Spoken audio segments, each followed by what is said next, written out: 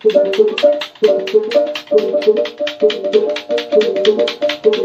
you.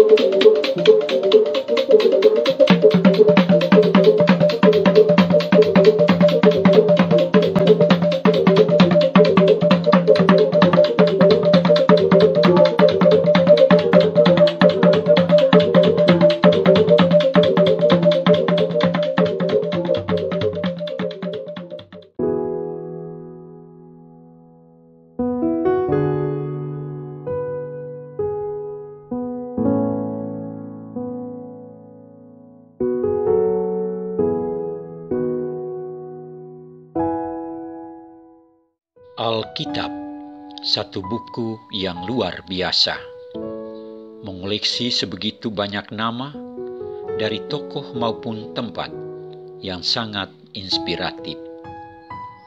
Nama yang punya makna, nama yang punya pesan.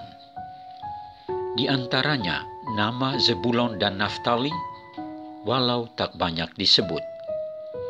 Hadir dalam nubuat Nabi Yesaya kegenapan dalam masa Yesus. Zebulon dan Naftali, nama dua dari anak laki-laki Yakub, berkembang menjadi suku yang mendiami bagian utara Israel, tanah yang subur dan kaya. Zebulon berarti hadiah yang indah dari Tuhan.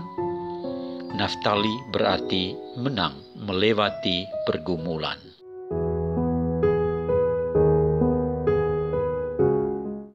Ketika mendengar bahwa Yohanes Pembaptis ditangkap, Yesus menyingkir ke Galilea.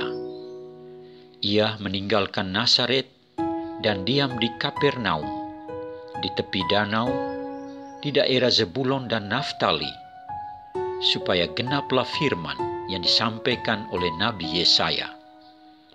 Tanah Zebulon dan tanah Naftali, jalan ke laut, daerah seberang sungai Yordan, Galilea, wilayah bangsa-bangsa lain. Bangsa yang diam dalam kegelapan telah melihat terang yang besar. Dan bagi mereka yang diam di negeri yang dinaungi maut, telah terbit terang.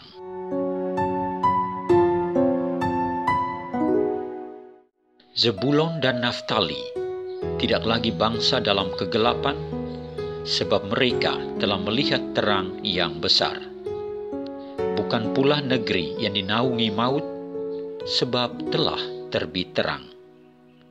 Dan terang itu adalah Yesus yang mampir diam di Kapernaum, di daerah Zebulon dan Naftali.